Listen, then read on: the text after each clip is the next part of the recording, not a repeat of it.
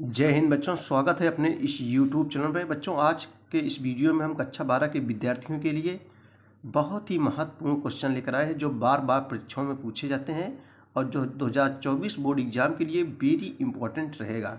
तो सबसे पहले बच्चों, हम लोग भूगोल के और बच्चों, यहाँ एन रहेगा एन सी रहेगा और सभी बोर्ड के स्टूडेंट्स के लिए इम्पोर्टेंट रहेगा। तो चलिए, सबसे पहले हम लोग बहुविकल्पीय प्रश्न देखेंगे। पहला क्वेश्चन है कि भूगोल का जनक किसे कहा जाता है? इकेटियस कांट, टालमी इरेटो स्थनीज तो बच्चों भूगोल का जो जनक कहा जाता है इरेटो स्थनीज को कहा जाता है। सही जवाब यहाँ जो है, गा हो जाएगा। अगला क्वेश्चन है, कौन आर्थिक भूगोल से संबंधित है? कौन आर्थिक भूगोल से संबंधित है? संबंधित नहीं है। कृषि भूगोल, विपणन भूगोल, पर्यटन भूगोल, चिकित्सा भूगोल। तो यहाँ पूछा बच्चों, आर्थिक आर्थिक मतलब आप समझते हो, जो धन से संबंधित होता है तो आर्थिक भूगोल संबंधित नहीं है, चिकित्सा भूगोल आर्थिक भूगोल से संबंधित नहीं है। जनसंख्या के आकार के अनुसार विश्व का सबसे छोटा महाद्वीप कौन सा यूरोप, अफ्रीका उत्तरी अमेरिका ओसिनिया सही जवाब बच्चों, यहाँ जो है खा हो जाएगा ओसिनिया चलिए, अगला क्वेश्चन देखेंगे हम लोग। अगला बहुविकल्पी प्रश्न है, निम्नलिखित में से कौन सा एक वनों पर आधारित उद्योग है? सीमेंट उद्योग, वस्त्र उद्योग, एल्यूमिनियम उद्योग, कागज़ उद्योग। वनों पर, देखो बच्चों, यहाँ लिखा है वन। वनों पर आधारित उद्योग कौन सा है तो सही जवाब क्या हो जाएगा? कागज़ उद्योग। क्योंकि कागज़ जो है, किससे बनता है? पेड़ पौधों से बनता है तो यहाँ कागज़ उद्योग हो जाएगा। निम्नलिखित में से कौन सा एक एक प्रकार का उद्योग अन्य उद्योगों के लिए कच्चे माल का उत्पादन करता है? कुटीर उद्योग, छोटे पैमाने का उद्योग, स्वच्छंद उद्योग, आधारभूत उद्योग। सही जवाब बच्चों, यहाँ सी हो जाएगा, आधारभूत उद्योग। ठीक है? अगला क्वेश्चन देखेंगे। अगला बहुविकल्पी प्रश्न देखेंगे जो मोस्ट इंपॉर्टेंट देखो कई वर्षों से B V I B very importance question कई वर्षों बच्चों परीक्षाओं में पूछे जा रहे हैं। निम्नलिखित में से कौन सा एक तृतीय क्रियाकलाप है? खेती, बुनाई, व्यापार, आखेट। तो तृतीय क्रियाकलाप कौन सा है बच्चों? ये जो है व्यापार, ये तृतीय क्षेत्र के अंतर्गत आता है। अगला क्वेश्चन है, निम्नलिखित क्रियाकलापों में कौन सा एक द्वितीय सेक्टर का क्रियाकलाप है? इस्पात पकड़न, वस्त्र निर्माण, टोकरी बनाना, मछली पकड़ना। तो बच्चों, कौन सा द्वितीय सेक्टर का क्रियाकलाप नहीं है, पूछ रहा है। द्वितीय सेक्टर क्रियाकलाप नहीं है तो यहाँ से जो हो जाएगा मछली पकड़ना। ये जो है प्राथमिक क्षेत्र के अंतर्गत आता है, लेकिन बच्चों स्वाद पकड़न वस्त्र निर्माण टोकरी बुनना, ये जो है द्वितीय क्रिया के अंतर्गत आता है। लेकिन मछली पकड़ना, खेती कर कृषि करना, ये सब जो है प्रथम क्रियाकलाप के अंतर्गत, यानी प्राथमिक क्षेत्र के अंतर्गत आता है मछली पकड़ना। ठीक है, मत्स्य पालन हो गया, मुर्गी पालन हो गया, कृषि हो गया, ये सब प्राथमिक क्षेत्र के अंतर्गत आते हैं। अगला क्वेश्चन है, मानव भूगोल को परिभाषित कीजिए। अगला इंपॉर्टेंट क्वेश्चन है कि मानव भूगोल को परिभाषित कीजिए। आइए इसका उत्तर हम लोग देखते हैं कि मानव भूगोल किसे कहते हैं। देखो बच्चों, मनुष्य और भौतिक पर्यावरण, मनुष्य और भौतिक पर्यावरण के मध्य मानवीय अंतर संबंधों का अध्ययन करने वाला भूगोल जो है, मानव भूगोल कहलाता है। अगला क्वेश्चन है, अतलगुत्री प्रश्न है बच्चों ये। मानव भूगोल के कुछ उपक्षेत्रों के नाम बताइए। मानव भूगोल के कुछ उप क्षेत्रों के नाम बताइए। तो मानव भूगोल के उप क्षेत्र निम्नलिखित है। मानव भूगोल के उप क्षेत्र निम्नलिखित हैं। नंबर एक है व्यवहारवादी भूगोल। नंबर दो है बच्चों सामाजिक कल्याण भूगोल। और तीसरा है सांस्कृतिक भूगोल, ऐतिहासिक भूगोल, लिंग भूगोल, संसाधन भूगोल। ये जो है मानव भूगोल के क्या है? उप क्षेत्र हैं। अगला क्वेश्चन है, जनसंख्या प्रवास से क्या तात्पर्य है? नेक्स्ट क्वेश्चन देखेंगे हम लोग। जनसंख्या प्रवास से क्या तात्पर्य? है आइए इसका बच्चों चलिए उत्तर देखेंगे। देखो, जनसंख्या का एक स्थान से दूसरे स्थान पर स्थानांतरित होना जनसंख्या प्रवास कहलाता है। जहाँ से जो है लोग प्रवास करते हैं, उसे जो है उद्गम स्थान तथा जहाँ लोग जाते हैं, उसे उस स्थान को जो है गंतव्य स्थान कहते हैं। देखो बच्चों, जहाँ से लोग प्रवास करते हैं, उसे उद्गम, यानी उद्गम माने जहाँ से लोग निकलते हैं ना उसे उद्गम कहते थे नदी उदी कहाँ से निकलती है तो उसे उद्गम क्षेत्र बोला जाता है। जहाँ से लोग प्रवास करते हैं, उसे उद्गम स्थान, जहाँ लोग जाते हैं, उस स्थान को जो है गंतव्य स्थान कहते हैं। अगला क्वेश्चन बच्चों, मानव विकास से क्या आशय है? तो मानव विकास का आशय मानव के संपूर्ण विकास से है, जिसमें सामाजिक, आर्थिक एवं राजनीतिक स्वतंत्रता सहित अन्य अवसरों की स्वतंत्रता सम्मिलित होती है। इसी कहते हैं मानव विकास। नेक्स्ट क्वेश्चन देखेंगे हम लोग, बहुत इंपॉर्टेंस वेरी इंपॉर्टेंस कई वर्षों से लगातार परीक्षाओं पूछ जा रहा है। 2024 बोर्ड एग्ज़ाम के लिए वेरी इंपॉर्टेंट रहेगा। बच्चों, विश्व के किन्हीं दो प्रमुख बंदरगाहों के नाम लिखिए। विश्व के किन्हीं दो प्रमुख बंदरगाहों, बंदरगाह किसे कहते हैं? जहाँ बच्चों, पानी वाली जहाज़ें रुकती है, उसे बंदरगाह बोला जाता है। अथवा विश्व के प्रमुख पत्तनों, यानी पत्तन भी कहते हैं बंदरगाह को। पत्तनों का उल्लेख कीजिए। तो उत्तर देखिए लिखेंगे विश्व के दो प्रमुख बंदरगाह निम्नलिखित हैं। नंबर एक, लंदन बंदरगाह, नंबर दो न्यूयॉर्क बंदरगाह। न्यूयॉर्क न्यूयॉर्क को विश्व का सबसे बड़ा बंदरगाह नगर माना जाता है, जबकि लंदन, ग्रेट ब्रिटेन का सबसे बड़ा बंदरगाह है। यह एक नदी बंदरगाह है। अगला क्वेश्चन देखेंगे। संघाई पत्तन की भौगोलिक स्थिति का वर्णन कीजिए। संघाई पत्तन की भौगोलिक स्थिति का वर्णन कीजिए। बच्चों, पत्तन माने आप समझ गए हो। बंदरगाह कहते हैं तो चलिए आइए इसका उत्तर देखते हैं हम लोग। देखो, यह विश्व की जनसंख्या दृष्टि से विशाल नगरों में से एक है। चीन का यह यह प्रमुख पत्तन शहर हांगहो नदी के तट पर, समुद्र से लगभग छियासी किलोमीटर पर अवस्थित है। संघाई बंदरगाह से जापान, कोरिया सहित चीन के आंतरिक भागों को जो है सामान भेजा जाता है। देखो बच्चों, ये दो क्वेश्चन अतलघुत्री क्वेश्चन है। B B very important question है। पूछा गया परीक्षाओं में।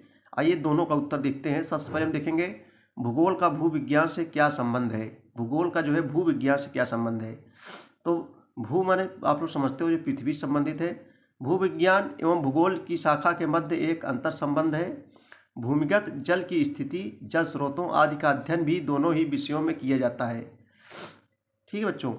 और भूविज्ञान में भूगर्भ से संबंधित विषयों का विस्तार पूर्वक अध्ययन किया जाता है, जबकि भूगोल में उनका संक्षिप्त रूप से मानव उपयोगी दृश्य अध्ययन किया जाता है।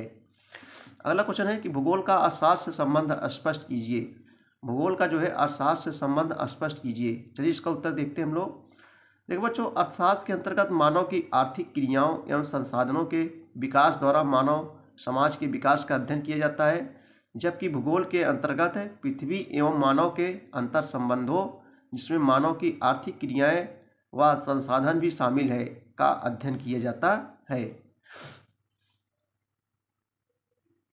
अगला क्वेश्चन है, बहुत इंपॉर्टेंट क्वेश्चन है अधिकोत्री है। देखो बार बार परीक्षाओं दोस्तों पूछा गया है। आइए बच्चों, इसका उत्तर देख लेते हैं हम लोग। विश्व में गेहूँ के दो प्रमुख निर्यातक देशों के नाम लिखिए। तो विश्व के दो प्रमुख गेहूँ निर्यातक देश। निर्यातक किसे कहते हैं बच्चों? जब किसी वस्तु को एक देश से दूसरे देश में जो है भेजा जाता है, उसे जो है क्या बोला जाता है? निर्यात बोला जाता है। जब किसी वस्तु को दूसरे देश से हम लोग मंगाते हैं उसे क्या बोला जाता है? आयात बोला जाता है। ठीक है? आयात माने आना और निर्यात माने जाना। तो विश्व में गेहूँ के दो प्रमुख निर्यातक देशों के नाम लिखिए। तो विश्व के दो प्रमुख गेहूँ निर्यातक देश संयुक्त राज्य अमेरिका संयुक्त राज्य अमेरिका और अर्जेंटीना है। ठीक है? अगला क्वेश्चन है कि जूट के, जूट उत्पादक के दो प्रमुख देशों के नाम बताइए। जूट उत्पादक के दो प्रमुख देशों के नाम बताइए। तो आइए देखते हैं जूट जूट को पटसन भी बोला जाता है, अथवा करके देखिए बच्चों, विश्व के किन्हीं दो जूट उत्पादक देशों के नाम बताइए। तो जूट उत्पादन भारत और बांग्लादेश का नाम अग्रणी है, क्योंकि जूट यानी पटसन पश्चिम बंगाल, भारत के पश्चिम बंगाल में सबसे ज़्यादा होता है। पास है पटसन, पास है पश्चिम बंगाल। यानी पटसन बच्चों, जूट से ज़्यादा खेती भारत में कहाँ होती है?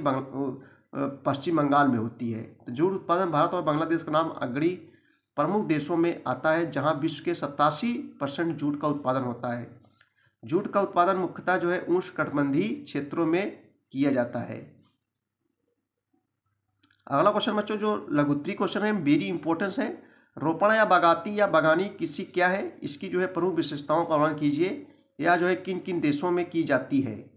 आइए इसका उत्तर देखते हैं हम लोग। अथवा बागाती कृषि की सार्थकता महत्व का वर्णन कीजिए।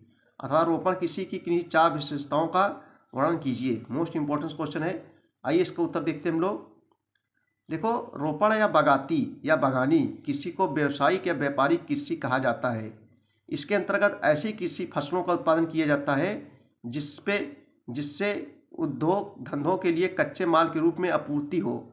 इसके लिए एक विशेष प्रकार, एक विशेष प्रकार से विशेष बागानों या फार्मों में एक ही प्रकार की फ़सलों जैसे रबड़, चाय, कहवा, गन्ना, फल, केला, अनानास, कोकोआ आदि व्यापक पैमाने पर उगाए जाते हैं। ये सब बागाती, यानी जो है रोपण कृषि के अंतर्गत आते हैं बच्चों। रोपण कृषि की प्रमुख विशेषताएँ इस प्रकार हैं। इसकी विशेषताएँ क्या है? चलिए देखते हैं।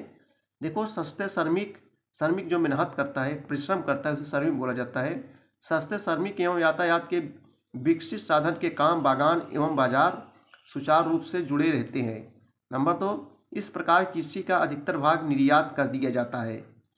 कृषि की यह प्रणाली लाभ के उद्देश्य से विकसित की गई है? नंबर चार, इस इस कृषि की शुरुआत औपनिवेशिक काल में जो है हुई थी। औपनिवेशिक काल किसे कहते हैं बच्चों? जब हमारे ऊपर दूसरे देशों का शासन होता है, यानी अंग्रेज़ों का शासन था तो उस काल को जो है औपनिवेशिक काल कहा जाता है। चलिए अगला क्वेश्चन देखेंगे हम लोग।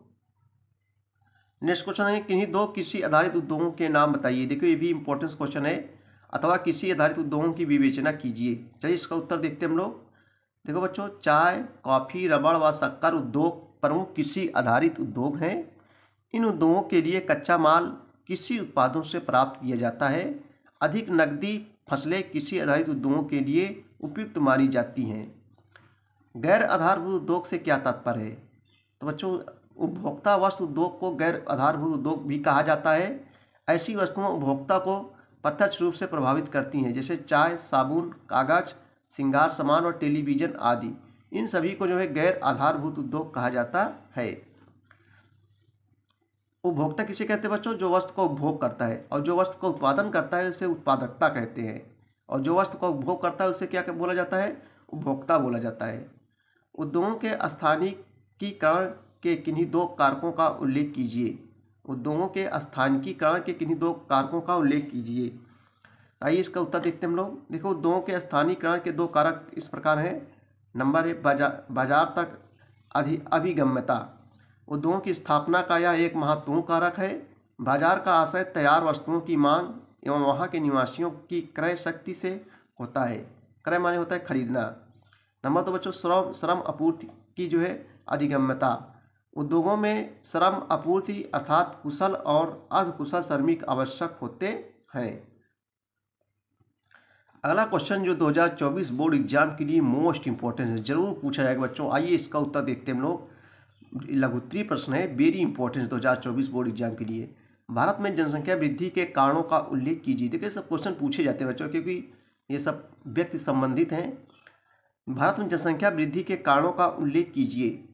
तो उत्तर देखें, भारत में जनसंख्या वृद्धि को प्रभावित करने वाले कारक निम्नलिखित हैं। नंबर एक, भारत में पाई जाने वाली गर्म जलवायु। नंबर दो, भारत में शिक्षा।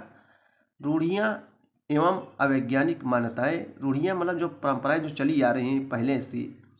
गर्भ निरोधक एवं परिवार नियोजन कार्यक्रमों को उचित ढंग से लागू ना कर किया जाना। ये सब बच्चों जनसंख्या वृद्धि के कारण है, जनसंख्या फैलने के कारण है। जनसंख्या वृद्धि को रोकने के लिए ऐच्छिक एवं अनिवार्य प्रतिबंधों को अपनाने के लिए जन सामान्य में जागरूकता का अभाव होना ज़रूरी है। भारत में जनसंख्या वृद्धि को रोकने नियंत्रित करने के चार उपाय बताइए। देखिए बी मोस्ट इंपॉर्टेंट क्वेश्चन लगातार कई वर्षों से परीक्षाओं में पूछा जा रहा है। ये सब क्वेश्चन पूछे जाते हैं बच्चों। भारत में जनसंख्या वृद्धि को रोकने नियंत्रित करने के चार उपाय बताइए, अथवा जनसंख्या विस्फोट के नियंत्रण की विधियों की समीक्षा कीजिए। तो उत्तर देखेंगे, जनसंख्या वृद्धि को निम्नलिखित उपायों द्वारा कम किया जा सकता है।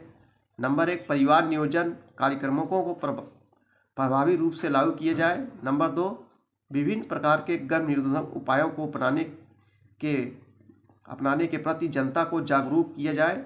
शिक्षा के प्रचार प्रसार को बढ़ावा दिया जाए। विशेष रूप से बच्चों, स्त्रियों की शिक्षा को जो है बढ़ावा दिया जाए। स्वास्थ्य सुविधाओं में विस्तार एवं विकास हो, ताकि जीवन प्रत्यास्था में वृद्धि हो और व्यक्ति छोटे परिवार के प्रति प्रेरणा प्राप्त कर सकें। अगला नंबर, जनसंख्या वृद्धि से उत्पन्न अतिरिक्त जनसंख्या को शिक्षा, प्रशिक्षण एवं अन्य कौशल विकास कार्यक्रमों द्वारा मानव संसाधन में बदला जाए, ताकि बेरोजगारी की समस्या कम हो सके। गरीबी को कम करने के लिए आर्थिक विकास के प्रयासों को और अधिक तीव्र गति से प्रदान की जाए। जनसंख्या नीति को उचित एवं सशक्त रूप से लागू किया जाए। अगला क्वेश्चन देखेंगे। मोस्ट इंपॉर्टेंट क्वेश्चन है, हरित क्रांति के नकारात्मक प्रभाव क्या है? तो आइए इसका उत्तर देखते हैं। हरित क्रांति के नकारात्मक प्रभाव निम्नलिखित हैं। नंबर एक, सिंचाई के अत्यधिक प्रयोग से जल क्रांतता तथा लवणता की समस्या उत्पन्न हो गई। नंबर दो, मिट्टी की उत्पादकता बढ़ाने के लिए उर्वरकों उर्वरकों के नाम पर रसायन, रसायनों की मात्रा जो है बढ़ गई। अगला क्वेश्चन मोस्ट इंपॉर्टेंट क्वेश्चन है लगातार कई वर्षों परीक्षाओं में पूछा जा रहा है बच्चों। दो प्रमुख नकदी फ़सलों के नाम लिखिए। तो आइए इसका उत्तर देखते हैं। भारत की दो प्रमुख वाणिज्यिक फ़सल निम्नलिखित वाणिज्य मतलब जो व्यापार के लिए किया जाता है। नंबर एक बच्चों, चाय। चाय एक रोपण फ़सल है जो पेय पदार्थ के रूप में प्रयोग की जाती है। इसको पीते हैं लोग चाय बना के। नंबर दो, काफ़ी। या जो है बच्चों उष्णकटिबंधीय क्षेत्रों में काफ़ी की रोपण कृषि की जाती है। अगला क्वेश्चन है भारत में गन्ना उत्पादक दो राज्यों के नाम बताइए। तो भारत में गन, के गन्ना दो उत्पादक राज्य उत्तर प्रदेश एवं महाराष्ट्र है। यानी उत्तर प्रदेश में सबसे ज़्यादा होता है गन्ना। उत्तर प्रदेश और महाराष्ट्र है। बच्चों ये थे मोस्ट इंपॉर्टेंट क्वेश्चन कक्षा बारह के विद्यार्थियों के लिए जोग्राफी के।